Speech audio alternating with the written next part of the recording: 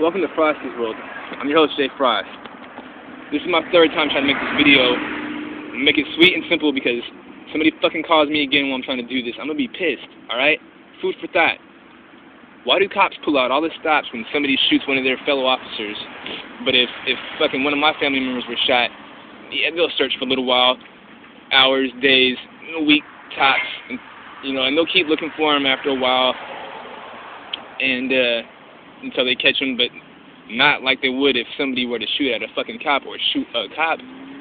They're gonna send everybody from the force down to one little area where it happened, turn off all the traffic lights, make them fucking do search by search, do traffic stop. It's fucking, oh, it's fucking wasted. It's a waste of money, man.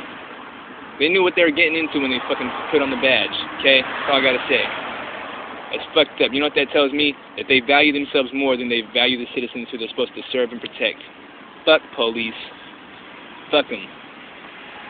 Never there when you need them, and always around at the worst times. Fuck the police.